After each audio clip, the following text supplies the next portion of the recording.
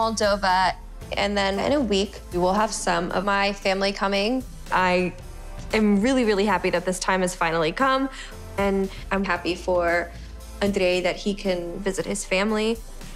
But I am so nervous because packing or trying to get anything done in general with a baby is very challenging.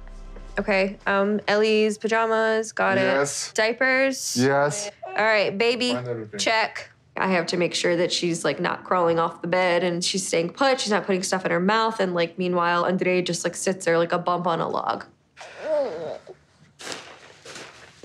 Well, this is all mine. Where's yours? Well, I have to pack mine and just check this out because it's gonna take me like five minutes because I know I'm what I'm packing. Here you go. And mine is like three times smaller than this one. That's for sure.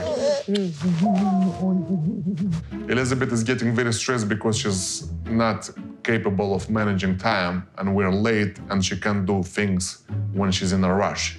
This is how I'll pack my bag, Liv. Check this out. This is my bag over here. If you're an organized person over here, you have a bunch of jeans already prepared. So this is all my jeans. Bam. In this kind of situation, I'm usually the one that it's calm and rational. I don't put my emotions in front of my brain, and I handle things.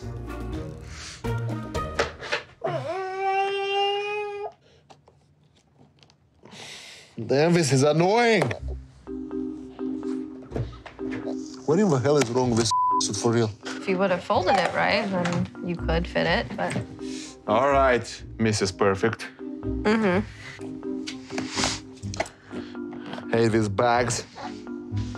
Hope they get lost and I'm gonna buy a new one. Damn! Ooh,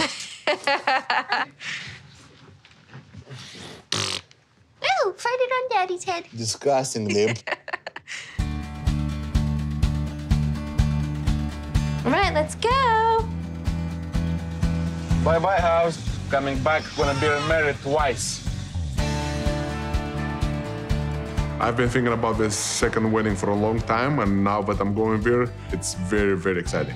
Elizabeth is coming around already, and she realizes that uh, this uh, wedding is for us, it's not only for me. Now she's getting, you know, like excited, and uh, I like it. And Eleanor meeting her family over there. Ooh. Hooray! Do you want the bottle? Do you want the bottle? Good. Need to get this down to 50, otherwise there's an additional $200 fee.